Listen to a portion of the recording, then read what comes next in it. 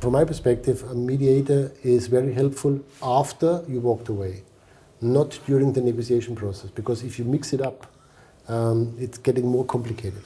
Would you agree? I would agree. Yeah. I would agree. But I would do one thing even before that. I'd ask, what would you want the mediator to do? So that you get them thinking, what would you want the mediator to do? Mm-hmm. And they can quickly come to understand they're not going to get the mediator to make a decision mm-hmm. or a good mediator, unless they've got uh, uh, mediation, which is making the decision for them, yeah. which is not mediation. Which is not mediation. Binding yeah. arbitration. Yeah. So binding arbitration is risky because that's uh, it's like in court. Yeah? You never know. Yeah. So I would. What do you want a mediator to do? What if they can't do that?